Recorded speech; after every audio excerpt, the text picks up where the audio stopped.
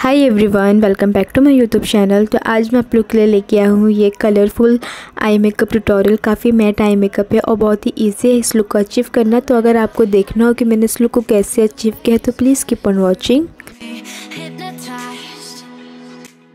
तो यहाँ पे आई पैलेट के लिए मैंने यहाँ पे स्विस ब्यूटो का ये nine colour eye palette choose किया है। ये काफ़ी मैट मतलब पूरा शेड आपको इसमें मैट मिलेगा। तो इसमें से सबसे पहले ये मैंने ऑरेंज ऑरेंज ब्राउन शेड लिया है। ये कुछ ऑरेंजिस ब्राउन शेड है। और इसको मैं अपने क्रीज एरिया में बफ आउट कर रही हूँ। इस तरीके से सर्कुलर मोशन में आपको ब्लेंड करते जाना है। और यहाँ पर मैंने एक छोटे से ब्लेंडिंग ब्रश की हेल्प से मैं यहाँ पर इसको ये आई को अप्लाई करते जा रही हूँ। इस तरीके से आपको अप्लाई करना है। और साथ ही साथ इसे अच्छे से ब्लेंड आउट करना है ताकि अच्छे से क्रीज लाइन वगैरह अच्छे से ब्लेंड हो जाए।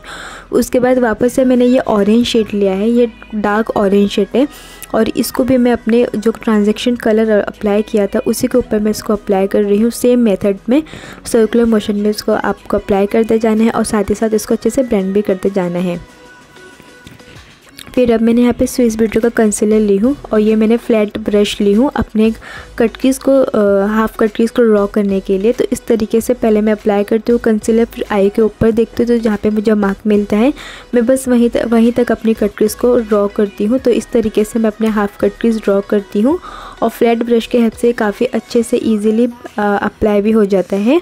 उसके बाद अपने कंसीलर को मैं सेट कर दूँगी वाइट आई के हेल्प से, जो कि उसी पैलेट में था। फिर उसके बाद ये मैंने मोवी पर्पल शेड लिया है और इसको मैं अपने आउटर कॉर्नर पे अप्लाई कर रही हूँ। वही सेम मैंने ब्रश लिया है, जो मैंने ट्रांजेक्शन कलर अप्लाई किया था, उसी ब्रश के हेल्प से मैं इसको पर्पल शेड को अप्लाई कर रही हूँ। और यहाँ पर मैं इसको वी टाइप में अप्लाई कर रही हूँ इस तरीके से।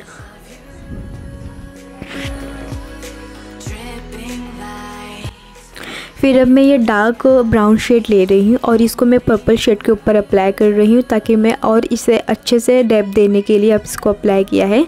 आउटर कॉर्नर पे काफ़ी स्मोकी लुक देने के लिए मैं इसे मैंने इस तरीके से अप्लाई किया है।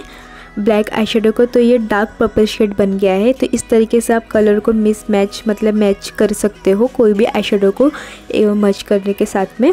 फिर उसके बाद ये मैंने ग्रीन शेड लिया है। और इसको मैं अपने सेंटर में, अपने आई के जो आई बॉल होता है, उसके सेंटर में, वहाँ पे मैं अप्लाई कर रही हूँ। तो यहाँ पे मैंने ब्रश को चेंज कर लिया है। ये फ्लफी फ्लैट ब्रश है। तो इसके हेल्प से मैं यहाँ पे अप्लाई कर रही हूँ ग्रीन शेड को। और पर्पल और ग्रीन शेड के बीच में जो एज था, उसको भी अच्छे से मैं ब्लेंड करते जा रही हूँ। फिर अब मैंने ये डार्क पिंक शेड लिया है और ये भी मैटी शेड है। और इसको मैं एक फ्लैट ब्रश के हेल्प से अपने इनर कॉर्नर पे अप्लाई कर रही हूँ, इस तरीके से। और अब मैं ये तीनों आई के एज जो बन गए थे, उसको मैं अच्छे से ब्लेंड कर दूँगी ताकि कलर अलग अलग ना दिखे, वो अच्छे से एक दूसरे के साथ में मर्ज दिखे और ब्लेंड ब्लेंड दिखे आई मेकअप तो इस तरीके से आपको अच्छे से ब्लेंड करना है, एक एक दूसरे को कलर को अच्छे से मर्ज करते जाना है। उसके बाद ये मैंने जो पर्पल शेड था, उसको अपने लोअर लैश लाइन पे अप्लाई किया है। एक छोटे से पेंसिल ब्रश के हेल्प से मैं यहाँ पे अपने लोअर लैश लाइन पे अप्लाई कर रही हूँ। फिर अब मैंने यहाँ पे स्विस ब्यूटी का ये लिक्विड ग्लिटर लिया है और यहाँ पे मैं एक पेंसिल ब्रश के हेल्प से यहाँ पे कटकिस के ऊपर इस तरीके से आईलाइनर को ड्रॉ कर रही हूँ। और ध्यान रखिए कि आपको इस आईलाइनर को अप्लाई करते वक्त काफ़ी प्रिसाइजली होना है, काफ़ी टाइम दे के इसको अच्छे से अप्लाई करना है ताकि ये फैले ना। अगर फैल जाएगा तो आपका आई मेकअप ख़राब भी हो सकता है। उसके बाद ये मैंने हाइलाइटर लिया है हुडा ब्यूटी का ड्यूप हाइलाइटर है और उसके बाद मैं अपने इसको हाइलाइटर के हेल्प से अपने ब्रॉबोन को और अपने इनर कॉर्नर को अच्छे से हाईलाइट कर दूँगी। काफ़ी अच्छा हाईलाइटर है, काफ़ी सॉफ्ट लुक देता है।